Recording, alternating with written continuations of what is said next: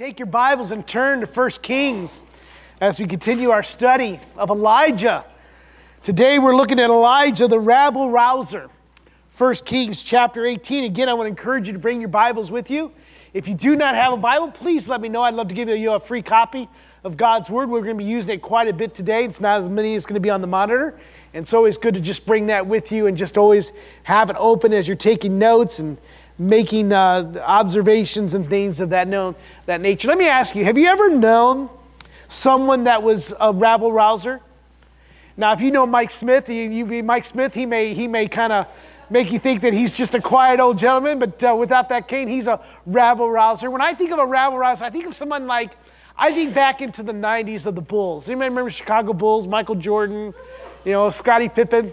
You can tell we're from the Midwest, but they had they had Dennis Rodman Six foot eight, he was known as the worm.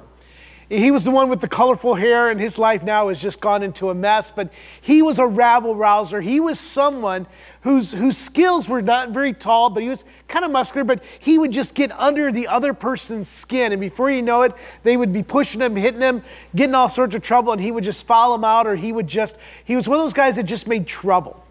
And so, you know, we always know those people who just kind of get themselves just under your skin or they stand out. They're always making trouble. Well, Dennis Rodman was an equal opportunity offender. And in our passage last week, Elijah, we saw, was sent into the heartland of Baal worship, where God displayed his presence, his power, his mercy, and his grace to a poor widow who was not seeking him at all. We saw that God displayed his presence through the ministry of Elijah. He displayed his power through his sovereign control over nature in allowing the, the oil and the flour not to dis- dissipate, but to always to be full. He displayed his mercy by providing substance to the Gentile woman. And he displayed his grace by granting her her son's life but also it seems a new heart to the widow as she came to understand who Yahweh was, who the Lord was, who God was. The narrative today now moves on to the eve of the cosmic battle of Elijah versus Baal. It's one of the most dramatic most favorite and most miraculous event ever recorded in Scripture. But before we get to that, I know some of you might be excited that we're going to get to that part today. But before we get to that famous passage, we're introduced to some more, several more characters in this evolving narrative. And so in 1 Kings chapter 18, hopefully you're there. The next two verses will be on the monitor just to get your get it wet here and get our feet going. It says, After many days, the word of the Lord came to Elijah in the third year, saying, Go show yourself to Ahab, and I will send rain upon the earth. So Elijah went to show himself to Ahab. Now the famine was very severe, or was severe in Samaria. Father, as we come before you, I echo the words of Randy and let my lips speak the truth. Lord, let us know the difference between my mere opinion, which will show up, and also the truth of your word. May they connect, but Lord, give us discernment. And Father, most of all, I pray that you open our hearts to receive what you have through the life and ministry of Elijah. Father, that we can take an event that happened 3,000 years ago, but then put it now to our now, here, and day, and how we should live. So I pray that your Spirit would have free work and that we will respond to how your Spirit calls us. We pray this in Christ's name. Amen. Once again, I'm going to give you my apologies. This has been a tough year. Again, I'm fighting a cold and a cough, so you'll hear me do that. I'll try to make them. So pray for me silently as we go through this. But this morning, I want to take some time before getting into that cosmic battle to consider both the setting and the character of this momentous event, this battle between Yahweh and Baal. First, we're going to examine the setting of this narrative. After more than three years, Yahweh sends Elijah back to Ahab to inform him that, the, that he will end the drought and bring the much needed rain that those states desperately need. The drought had caused a region wide famine, as we saw last week, that had devastated the land. And King Ahab is sending out his servants to search for grazing areas for the livestock. And we, in verse 5, we read of Ahab's plan. In verse 5, Ahab said to Obadiah, Go through the land to all the springs of the water and to all the valleys. Perhaps we may find grass and save the horses and the mules alive and not lose some of the animals. So they divided the land between them to pass through it. Ahab went in one direction by himself, and Obadiah went in another direction by himself. They're trying to save the cattle, the horses, and the sheep. So King Ahab summons his chief of staff, so to speak, to inform him that they're going to scour the land to find the precious resources, water, and grazing land that their cattle, their sheep, and their horses need to survive. Now, this is important. You know, we understand that they needed food for, for people, but their beast of burdens, the mules, they needed that grazing land. They needed it for their horses so they could defend against battle. They needed it for their cattle and their goats, for the milk, the cheeses, and even the meats that they need. So their animals here need grazing land and more water. But as we continue in verse 7, we read that in his journey, Obadiah, the, the chief, the king's chief of staff, he encounters Elijah. And let's look at that encounter in verse 7. As Obadiah was on his way, behold, Elijah met him. And Obadiah recognized him and fell on his face and said, Is it you, my lord Elijah? And he answered him, It is. It is I. Go and tell your Lord, Lord behold, Elijah is here. Now, we're going to look at the rest of the conversation in a minute, but as we read in verse 16, go down to verse 16. So Obadiah went to Ahab and told him, and Ahab went to meet Elijah. Though three and a year, three and a half years have passed, with no rain, no dew, causing a devastating drought and a dangerous famine, we read that Ahab still is not repented, and instead he doubles down against the man of God as he receive, he gives him an insult in verse 17. When Ahab saw Elijah, Ahab said to him, Is it you, you troubler of Israel? Now just think about that a moment. Three and a half years ago, Elijah comes into the court of the king and says, Because of your rejection of God, because of your worship of Baal, because of your marriage to Jezebel, because of your wickedness, there will be no rain, no dew for three years. Well, he didn't give him a time. He just says there's going to be no rain or no dew on the ground. It comes in effect. And he doesn't see Elijah for three and a half years. And he sees the devastating effects of the drought that brings a famine throughout his land. But yet, when he sees Elijah, it's not one of repentance. It's not one of saying, You were right. You serve the one true living God. No, it's to call him, You are the troubler of Israel. Talk about a warped view of the circumstances. Yet Elijah shows the courage of his convictions when he replies in verse 18. I have not troubled Israel, Elijah says, but you have in your father's house because you have abandoned the commandments of the Lord and you have followed after Baal. Like most people, Ahab tries to distract, to distort, and divert attention to his, from his own sin and the consequences it brings to others. And you and I do that very often, many times ourselves, most likely all the time. When the consequences of our sin start to come in, when we realize that we're not getting away with our rejection of God, of pursuing our own passions, we begin to divert, distract, and point to others, to blame someone else, to point to a circumstance and say, It must be them. They're the troubler of my life. However, Elijah doesn't play that game, but he boldly calls him out. He doesn't allow Elijah or allows King Ahab to play that game. In verse 19, we read of Elijah's challenge. Now, therefore, send and gather all of Israel to me at Mount Carmel and the 450 prophets of Baal and the 400 prophets of Asherah who eat at Jezebel's table. So Ahab sent to all the people of Israel, and he gathered the prophets together there at Mount Carmel. Elijah points out that there are 850 prophets of the false gods. We even see that these prophets are highly regarded, as Elijah describes them as those who eat at Jezebel's table. They have a place of honor. So, as we look at this setting, we see that after three and a half years, things are finally coming to a head as Elijah courageously obeys God's word and confronts the prophet of Baal with a challenge.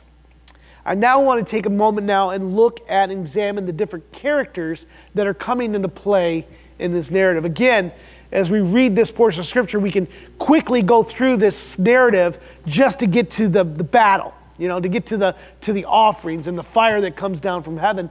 But we need to understand that these are in here for a purpose. And so these characters, I believe, are something important for us to consider. So first character we're going to see is Lord, is Yahweh, is God. He's the one true living God who is sovereign over all of creation, who alone deserves all worship. Now, that should bring an amen. Let me try it again. The first character is the Lord, the Yahweh, the one true living God who is sovereign over all of creation and who alone deserves our worship. Amen. Okay, very good. In Exodus 20, well, we're going we're to teach it, we're going to get it. In Exodus chapter 20 and verse 2, we read that we had read that God had given the children of Israel this command. I am the Lord your God, who brought you out of the land of Egypt, out of the house of slavery. You shall have what? No other gods before me. You should not make for yourselves a carved image or a likeness of anything that is in heaven above, or is that in the earth beneath, or that is in the water under the earth. You shall not bow down to them or serve them, for I am the Lord your God, am a jealous God. So the first character we have to understand is the Lord. Now, Yahweh has displayed his presence, his power, his mercy, and his grace throughout this narrative, as we've read Elijah. He is demonstrating that he alone is the sovereign, providential God, and that Baal is a worthless, false God. The second character is Elijah. He's the prophet of God who courageously serves God in, the face of the danger and diversity, The, through most or, or, or diversity. Though much is not known about him, the scripture doesn't give us much about who he is or where he is from, other than from that one city. He stands head and shoulders among the prophets of the Old Testament. And we know that he is one that God said one will come like him to prepare the way of the Lord that we now know as John the Baptist. So Elijah, as we saw in our first week message, is larger than life. The third character is King Ahab. He's that wicked king of Israel, the northern ten kingdoms who had abandoned God of Israel, and he placated his wife by worshiping the false god Baal. In doing so, he not only has he incurred the judgment of God and personally responsible for the suffering of tens of thousands of people, he has ignored the one job he was commanded to do. You, have seen that. You had one job, right? He had one job. It's found in Deuteronomy chapter 17, if you want to turn there, if you real quickly. Deuteronomy, fifth book of the Old Testament. In that passage, we read Yahweh's commands to the children of Israel when it came time to appoint a king. In Deuteronomy chapter 17, verse 18, he says, And when that king sits on the throne of the kingdom, he shall write for himself in a book a copy of this law. What law? The one that we read earlier. I am the Lord your God who brought you out of the land of Egypt. It should be approved by the Levitical priest. In other words, he doesn't write what he wants, but he has to write one that, that, that, that, that's true, that's real, and it's going to be checked. In verse 19, it says, And it shall be with him, and he shall read it in all the days of his life. Why? That he may learn to fear the Lord his God by keeping all the words of his law and statutes by doing them. So he was to write a copy of the law for his own. He was to read it and to internalize it and bring it to his heart. It says, that his heart may not be lifted up above his brothers, and that he may not turn aside from his commandment either to the right or to the left, so that he may continue long in the kingdom, he and his children in Israel. One job write down the book of the law, read it all your days, follow it, lead your people, and God will bless them well. King Ahab failed at that one job very quickly, ruthlessly. Queen Jezebel, another character. She's the evil wife of the king. She's a Gentile. She's a worshiper of a Baal. She had killed many of the prophets of God. She is, a worth, she is worthless as a wife and as a queen. In direct opposition to Yahweh and his prophets, we read that she has taken special care of the prophets of Baal while working to cut off the prophets of the Lord. She esteems and honors the false prophets while murdering, slaughtering those who truly are prophets of the one true living God. She truly was a wicked woman. Now we're introduced to a character we haven't seen before in chapter 18, and that's Obadiah. Now, this is not the Obadiah that wrote the book of Obadiah later, the prophet Obadiah. This is a servant of the king who oversaw the king's affair. He was the chief of staff. He's new to the narrative, and we read that Obadiah was a conflicted man in this passage. He was a man of competing fears. First, we see in verse 3 that he feared God, which he should. Look at verse 3. And Ahab called Obadiah, who was over his household. Now look at in the parentheses, this little note. Now Obadiah feared the Lord greatly. Amen. And when Jezebel had cut off the prophets of the Lord that I've spoken of earlier, when she had killed them, Obadiah took a hundred of the prophets and he hid them by fifties in a cave and he fed them with bread and water. So you can imagine, here he is, he's in the king's court. He hears that she's ready to murder these prophets. So he finds a hundred of them because he fears God. He's a God worshiper. And he takes them and he takes them and splits them in half and says, I'm going to put some of you in a cave and I'm going to put 50 of you in a cave. Not only does that, he takes the precious water and food, probably from the king's court, from the king's house, and he sneaks in and he would give them food and water. So in here, he is a man who fears God. He does a very courageous thing in doing it. If he was to be caught by Ahab or Jezebel or given over, his life would be forfeit as well. However, not only was he a man who feared God, but we go in verse 9, we see that he feared King Ahab and Queen Jezebel, as probably most of us would, rightly so. Look at verse 9. And this is when he comes up to Elijah, and this is that conversation we skipped earlier. He says to Elijah, How have I sinned that you would give your servant into the hand of King Ahab to kill me? As the Lord your God lives, there is no nation or kingdom where my Lord is not sent to seek you out. King Ahab has been looking for Elijah these last three and a half years. And when they would say, He is not here, he would take an oath of the kingdom or nation that they had not found you. Verse 11. And now you are telling me, Go tell your Lord, behold, Elijah is here. And as soon as I have gone from you, the Spirit of the Lord will carry you not where I know where you are. No, he's afraid that Elijah is going to disappear. And so when I come and tell Ahab and I, he cannot find you, he will kill me. Although I, your servant, have feared the Lord from my youth. Has it not been told, my Lord, what I did when Jezebel killed the prophets of the Lord, how I hid a hundred men of the Lord's prophet by fifties? In a cave and fed them with bread and water. Verse 14.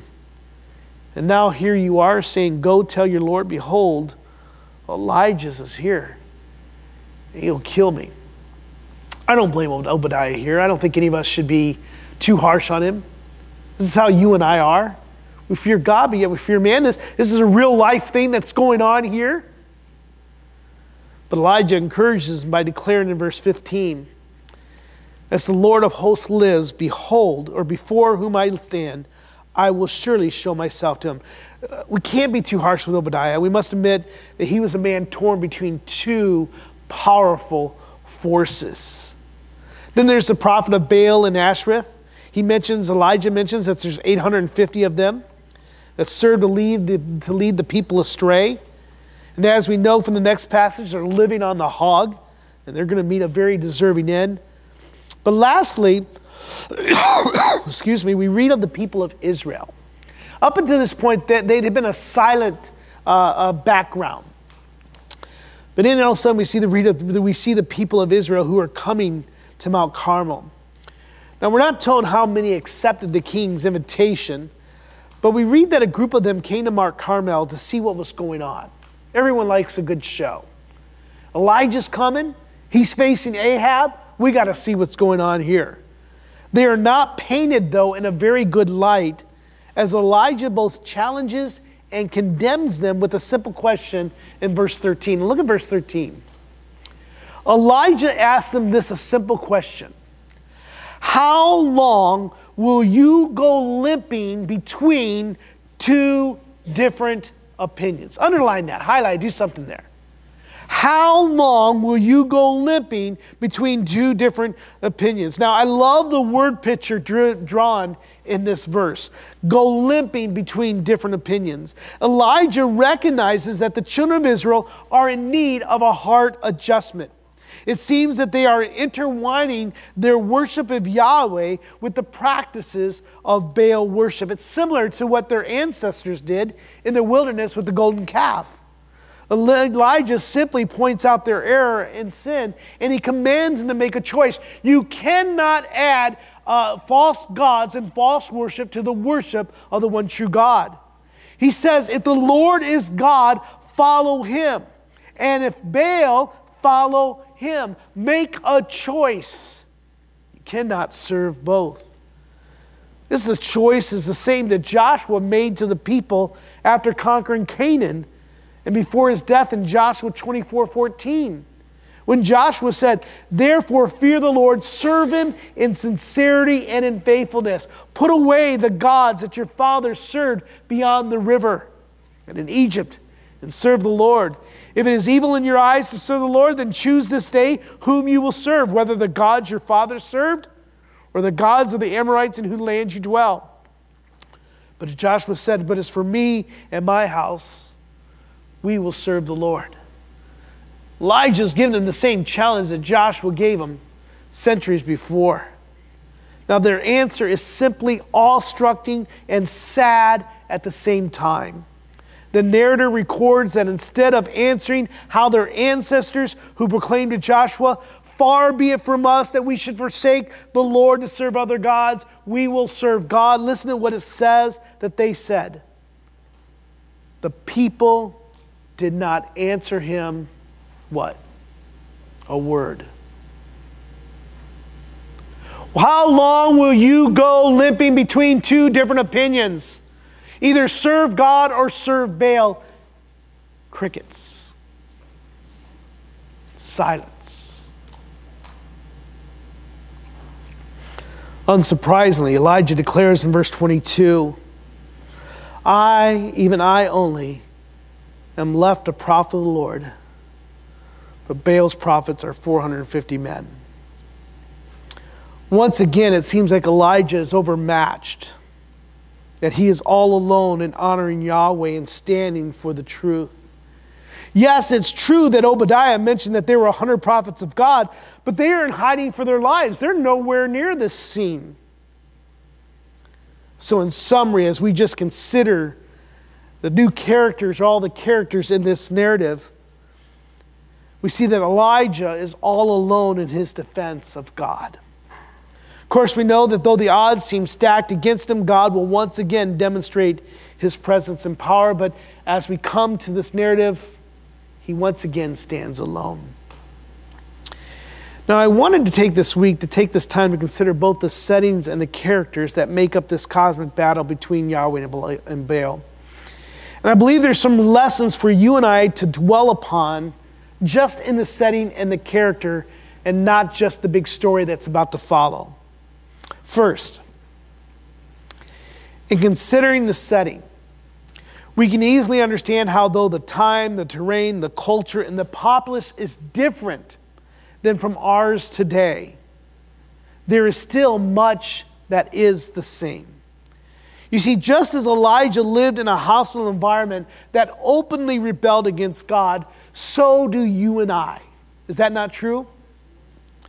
Our political, social, and cultural leaders are trying to do outdo each other, are trying to outdo each other in pursuing absurdity after absurdity, in bowing down to the false gods of self satisfaction, self preservation, and self actualization. It is just ridiculous what they're trying to do. It seems like there is no boundary to this world's pursuit of all things decadent. We are in a bullet train trying to go to the most depraved place that you and I can go to. They have abandoned any semblance of truth and have dedicated themselves to the futile race after relative truth. But before you and I can be too critical, and before you and I can judge our leaders, we too are like people limping between opinions. The effects of this rebellion and sin is just as devastating as the drought and famine of 3,000 years ago. There is a drought and famine of truth telling and worship of the one true living God today that has left this world in hunger and thirst. And any attempt, here's where you and I have to understand our setting today is that any attempt by Christ followers to proclaim the truth of God's word leads the world to cry out that we are troublers, that we are rabble rousers, that we must be ignored, quieted, and dismissed. Here in the U.S., they are seeking to legislate us out of the public square. But in many parts of the world, they are imprisoning Christians and slaughtering them to appease their guilty conscience. Taylor Swift's new song, Calm Down. I know there's a chuckle there. She sings of those who are against the agenda of the world, saying, You need to calm down. You're being too loud. Who is she saying this to? Those who speak God's truth. She's saying, You are too loud. You just need to calm down. You just need to stop. Can you stop? She sings. Like, can you just not step down on our gowns? You need to calm down. Why are you troubling the world, Christians? Just be quiet. Do not stand against what we're trying to do. Now, this setting should not be a surprise to any of us, as Jesus warned in our scripture reading earlier that Landon gave us. Behold, I'm sending you as sheep in the midst of wolves. Be wise as serpents and innocent as doves. Beware of men, for they will deliver you over to the courts and flog you. They will drag you before governors, and for my sake to bear witness of me. In that same re- reading, he had warned the disciples that we will be hated for Christ's name's sake. And in the book of Acts, the good Dr. Luke records that the apostles suffered much for the sake of Christ. It's in its pages of, of, of, of, Acts that we read that the apostles were beaten, imprisoned, stoned, and charged as being rioters, turning the city upside down and being atheists. They were the rabble rousers, the troublers of the world. In short, they were rabble rousers by proclaiming Christ crucified. And so be not despised or be not surprised when the world too considers you a rabble rouser, a troubler, one who's creating waves, whether it's at work or in your school, in your neighborhood, when you stand for the things of Christ. So that's our setting. You and I very much live in a King Ahab type world, one that's rejected the truth of God and the rule of the one true God. Which brings us to the second consideration that is characters. As you read this story, I don't know if you're a reader. Do you like to read fiction? I love it. It's not uncommon for those who read to kind of put themselves as a character in the book or to identify with one of the characters. So, as you read through this, let me ask you which character do you identify with the most? Now, for most of us, we automatically imagine ourselves as Elijah. I'm the one standing alone for God. Just as we do with, I'm like David, I'm like uh, Moses, you know, I'm Daniel, I'm the three children, uh, Shadrach, Meshach, Abednego. I'm the one standing for God. We tend to think that if you and I were in the same setting and circumstances, that you and I would stand firm and grounded in the faith. That's what we want to think of ourselves. Yet here we are today, faced with not the exact same circumstances, but still very close. With the still the opportunity to stand firm and grounded in our faith in a world that is hostile to our faith and to our God. But if you and I are honest, we find that we are not Elijah. So let me ask you. So are you more like King Ahab and Queen Jezebel and the false prophets? Are you here this morning and listen to what I say, please? Are you here this morning pursuing your own passions and your own selfish desires? Have you rejected the authority of God and His Word when it comes to your relationships, to your finances, and to your life and to your worldview? Do you not recognize the presence and power of the sovereign God? Do you dismiss the grace and mercy of the providential God, taking it for granted of your breath and of your life?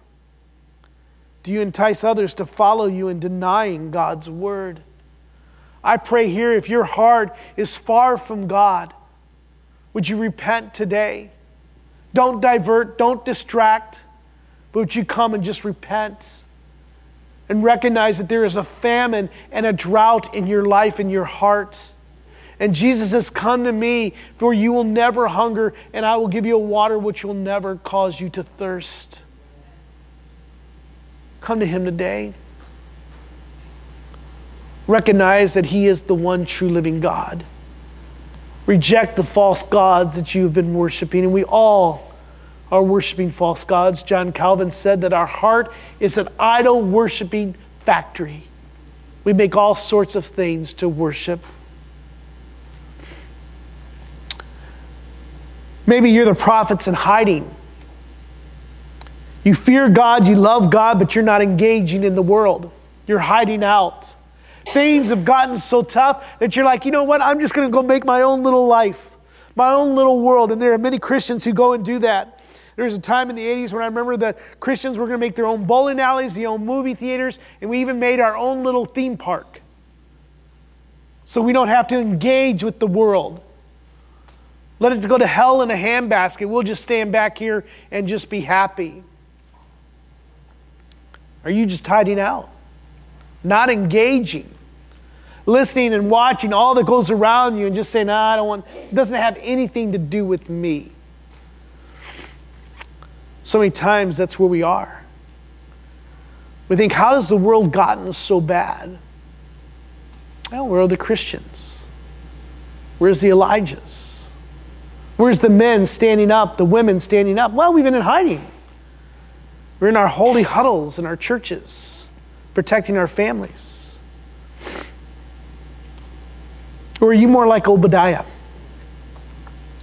You fear God you desire to obey him, but you also fear the response of man. And I believe this is where most you and I live. We're more like Obadiah's. Are you a secret agent that serves God while not bringing attention to your faith?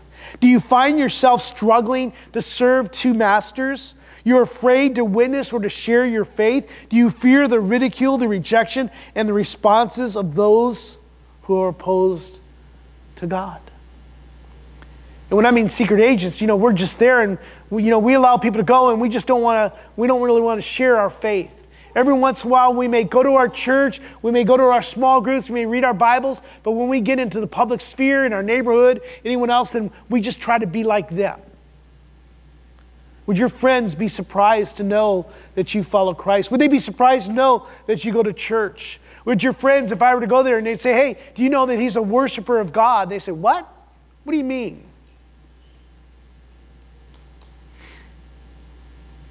Or are you more like the people of Israel? Are you limping between loving God and pursuing your own passions? Thinking that all you need is just to add Jesus to your life to make it better. You love his teachings as long as they don't require anything of you. When confronted with dirty jokes, blasphemous language, and ideas that oppose the holiness of God, are you silent and you make no answer? Whatever you want to believe, believe it. But that's good for you. Or are you a limping Israelite? Or do you recognize or identify with Elijah, a lover of Yahweh? Who courageously and boldly obeys God's word in defiance of circumstances and consequences. Get that again. He courageously and boldly obeyed God's word in defiance of circumstances and consequences. I don't care where I'm at. I don't care what's going on. I don't care if it's life or death. I'm going to boldly and courageously obey God's word. Do you trust that God will provide all that you need in times of plenty? As well as times of famine? Are you ready to serve and minister to those that are in need, whether they're of your family or not, of your race or not? Are you prepared to give a defense of God no matter the audience? Are you prepared and willing to go it alone against a culture that is hostile to your faith? Now, in reality, you and I probably go through the spectrum of Elijah and King Ahab. I pray that you stepped away from King Ahab. I pray that you're not that. If not, would you repent and see that Christ will bring you as one of his own? But then at the worst, you and I are, are Obadiahs and, and, and the prophets of God in hiding. At the best, we're Elijah. So where do you find yourself? Probably facilitating between one or the other, depending on the circumstances, depending or, or maybe on the consequences of what it may be. If you and I are honest, we must admit that our times of Elijah are few and far between. It's easy to do it here at church, Sunday school, small group. But how are you in the workplace, in the neighborhood, at Thanksgiving dinner with your family? I want to end today with a rebuke, a challenge, and a word of encouragement. Like Elijah, you and I must courageously and boldly obey God's word in defiance of circumstances and consequences. So here's the rebuke, and listen to these words with love. You and I must proclaim that God is the one true living God and that one day he will judge the wicked and reward the righteous. Yet, too many times, you and I have failed in this important ministry. We have not been courageous, nor have we been bold.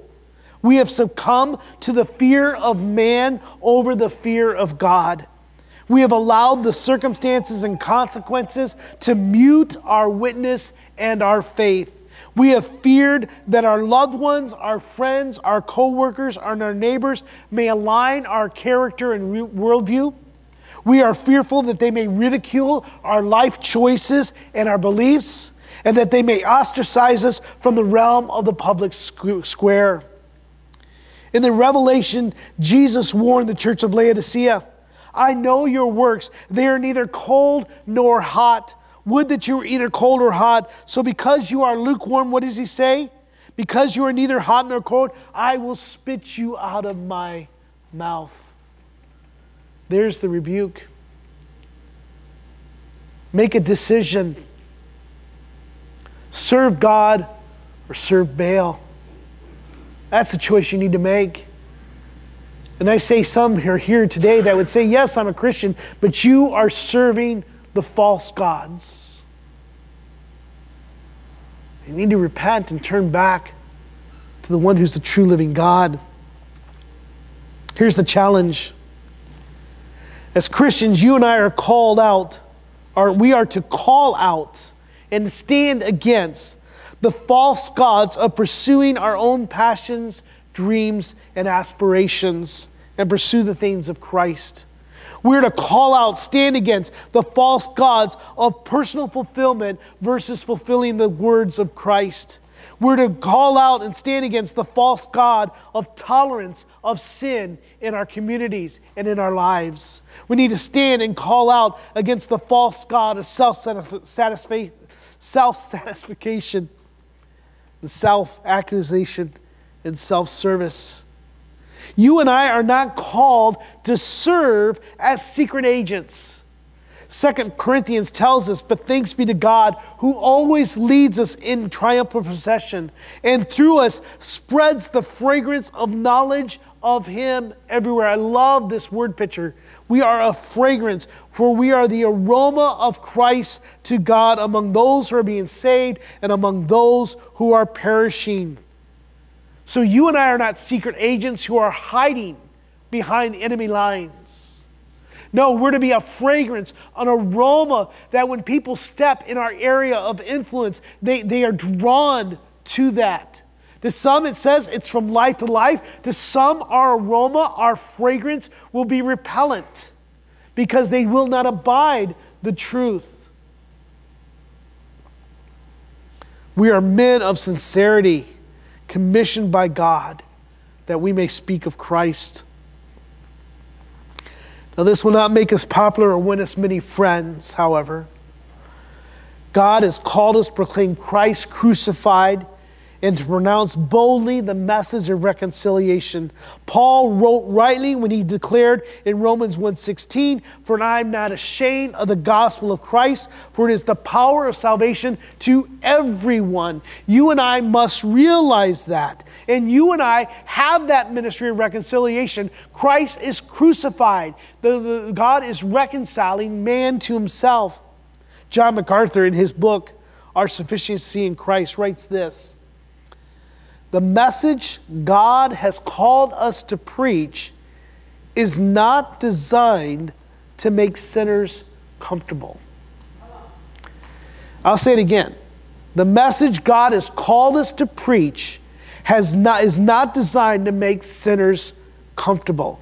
They will attack, ridicule, malign, and try to take us out of society. But Paul wrote, Do not be ashamed about the testimony of the Lord, for whom I believed, and I am convinced that he is able to guard us until that day.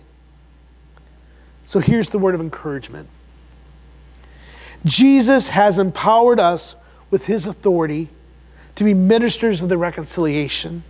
Though you and, I may, you and I may not see fruit in our lifetime or even in our sacrifice uh, right now, we see that God's word does not return void. Turn to Mark chapter 8, if you would, verse 34. Mark chapter 8. You and I must realize that God promises to guard us until that day he returns or he calls us home. In Mark chapter 8, verse 34, we're very close here to the end. In this passage, Jesus gives a word of encouragement that comes in the form of a warning. Mark chapter 8, look at verse 34.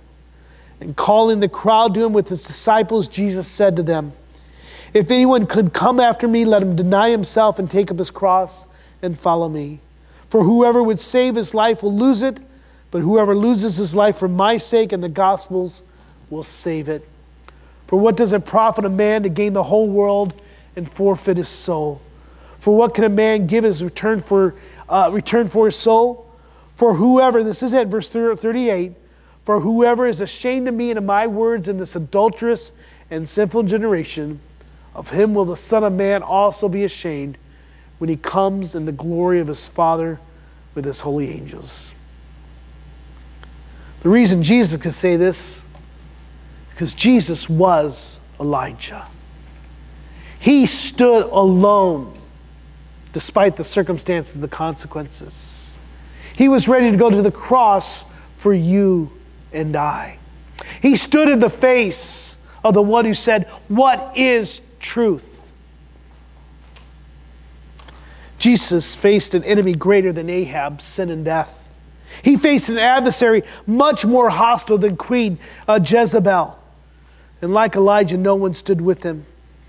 Yet he boldly obeyed God's word despite the circumstances and consequences, and thereby securing our salvation and the glory to God.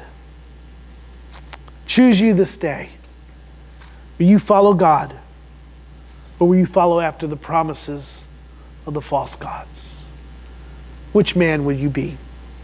Every head bowed and every eye closed as the worship team comes up. I want to take a moment to just to pause and consider God's word.